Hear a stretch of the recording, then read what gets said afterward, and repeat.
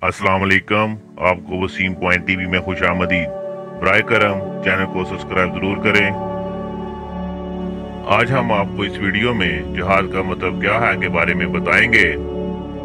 جہاد کے لغوی معنی جد و جہد یا کوشش کے ہیں یعنی کہ ایک مومن کی اندرونی جد و جہد جو کہ مسلم عقیدے کو ہر ممکن حد تک زندہ رکھنے کے لیے ہے۔ اس کے ساتھ ایک اچھے مسلم معاشرے کی تعمیر کے لیے جدوجہد یا کافروں کے خلاف ایمان کا دفاع کرنا ہے۔ یعنی کہ کسی نیک کام میں انتہائی طاقت و کوشش صرف کرنا اور ہر قسم کی تکلیف اور مشقت برداشت کرنا ہے۔ اگرچہ مغربی سیاستدانوں اور میڈیا کے ذریعے لفظ جہاد وسیع پمانے پر غلط طریقے سے استعمال کیا جاتا ہے، مغربی ماہر تعلیم نے جہاد لفظ کو انیس سو نبے کی دہائی سے استعمال کرنا شروع کیا تھا۔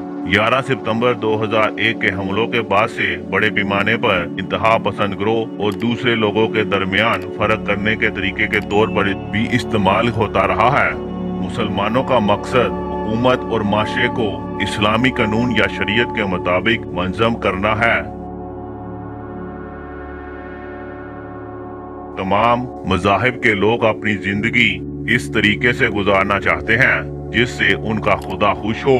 لہٰذا مسلمان بھی اپنی زندگی اسی طریقے سے گزارنے کی کوشش کرتے ہیں، جیسا کہ اللہ تعالیٰ نے انہیں حکم دیا ہے۔ ایمان کے اصولوں پر عمل کرنا اللہ تعالیٰ کے لیے وقف ہونا۔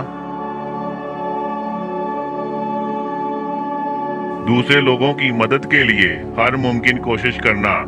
لفظ جہاد قرآن مجید میں فوجی مفہوم کے ساتھ اور اس کے بغیر کثرت سے ظاہر ہوتا ہے۔ سرمہواراتی اظہار میں اللہ کی راہ میں جد و جہد کرنا۔ الجہاد فی سبیل اللہ۔ مسلح مزاحمت کے طور پر جہاد کا احساس سب سے پہلے۔ مسلمانوں کو درپیش ظلم و ستم کے تناظر میں ہوا جب حضرت محمد صلی اللہ علیہ وسلم اور ان کے صحابہ اکرام مکہ میں تھے، تب ان کے پاس دو راستے تھے۔ پہلا، ہجرت اور دوسرا، جہاد۔ جہاد کی اصطلاح کو اکثر انگریزی میں مقدس جنگ کے طور پر پیش کیا جاتا ہے۔ حالانکہ یہ ترجمہ متنازع ہے، جہاد میں مصروف شخص کو مجاہد کہا جاتا ہے۔ یہ اسلام کے دشمنوں سے لڑنے کے ساتھ ساتھ مذہبی تعلیمات پر عمل پیرا ہونا، نیکی کا حکم دینا اور برائی سے منع کرنا، یہ سب عمل جہاد ہے۔ معاشرے کی اخلاقی ترقی یا اسلام کے پھلاؤ کی طرف کوشش کے پر امن احساس کو زبان کا جہاد یا قلم کا جہاد کہا جاتا ہے۔ جیسا کہ تلوار کے جہاد کے والخلاف ہے، یہ ایک اصطلاح کے طور پر زیادہ تر بات کے معنیوں میں استعمال ہوتا ہے جبکہ زیادہ تر نفس الامارہ سے لڑنے کے معنی ہیں، جو آپ کی اپنی خواہشات کے استعمال کی نفسیاتی کیفیت ہے۔ روحانی اور اخلاقی جہاد پر عام طور پر تقوی اور عرفانی حلقوں میں زور دیا جاتا ہے۔ جہاد کی تصویر کی ابتدا اس اسلامی نظریے سے ہوئی ہے کہ پوری انسانیت اسلام قبول کرے گی۔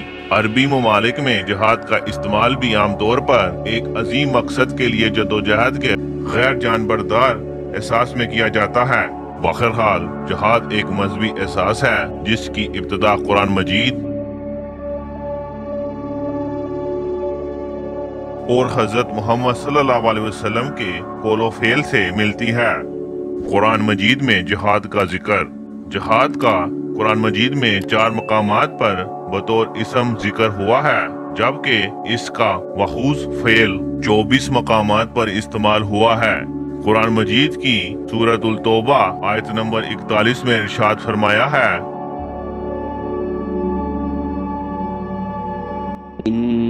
انفروا حفافا وثقالا وجاهدوا بأموالكم وأنفسكم في سبيل الله ذلكم خير لكم إن كنتم تعلمون جس کا ترجمہ کچھ یوں ہے کوش کرو ہلکی جانوں سے، چاہے بھاری دل سے، اور اللہ کی راہ میں لڑو اپنے مال اور جان سے، یہ تمہارے لیے بہتر ہے، اگر تم جانو۔ قرآن مجید کی صورت التوبہ، آیت نمبر چوتالیس میں ارشاد فرمایا ہے۔ لا يستأذنك الذين يؤمنون بالله واليوم الآخر أن يجاهدوا بأموالهم وأنفسهم والله عليم بالمتقين جس کا ترجمہ کچھ یوں ہے، اور وہ جو اللہ اور قیامت پر ایمان رکھتے ہیں، تم سے چھٹی نہ مانگیں گے۔ اس سے کہ اپنے مال اور جان سے جہاد کریں، اور اللہ خوب جانتا ہے پرہیزگاروں کو۔ قرآن مجید کی سورت التوبہ، آیت نمبر اکیاسی میں ارشاد ہوا ہے۔ فرح المخلفون بمقعدهم خلاف رسول الله وكرهوا وكرهوا أن يجاهدوا بأموالهم وأنفسهم في سبيل الله في سبيل الله وقالوا لا تنفروا في الحر. قل نار جهنم أشد حرا لو كانوا يفقهون۔ جس کا ترجمہ کچھ یوں ہے، پیچھے رہ جانے والے اس پر خوش ہوئے کہ وہ رسول صلی اللہ علیہ وسلم کے پیچھے بیٹھے رہے اور انہیں گوارا نہ ہوا کہ اپنے مال اور جان سے اللہ کی راہ میں لڑیں۔ اور بولے، اس گرمی میں نہ نکلو۔ تم فرماؤ، جہنم کی آگ سب سے سخت گرم ہے۔ کسی طرح انہیں سمجھ ہوتی۔ قرآن مجید کی صورت التوبہ، آیت نمبر 86 میں ارشاد ہوا ہے۔ وَإِذَا أُنزِلَتْ سُورَةٌ أَنْ آمِنُوا بِاللَّهِ وَجَاهِدُوا مَعَ رَسُولِهِ مَعَ رَسُولِهِ اسْتَأْذَنَكَ أُولُو الطَّوْلِ مِنْهُمْ وَقَالُوا ذَرْنَا نَكُنْ مَعَ الْقَاعِدِينَ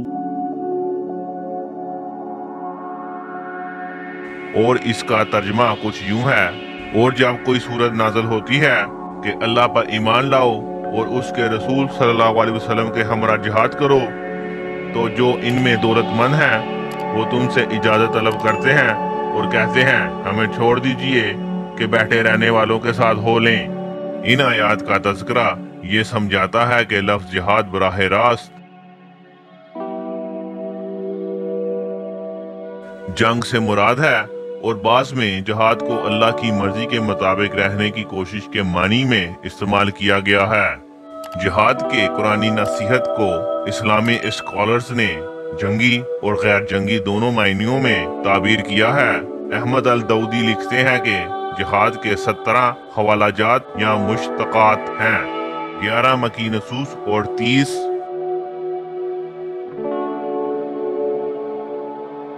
مدینہ تصانیف میں مجموعی طور پر اکتالیس بار آیا ہے، جن میں اٹھائیس مذکور مذہبی عقیدے یا روحانی جدوجہد کے متعلق ہے اور تیرہ تذکرے جنگ یا جسمانی جدوجہد کے متعلق ہے اللہ تعالی ہم سب کو جہاد کی توفیق عطا فرمائے۔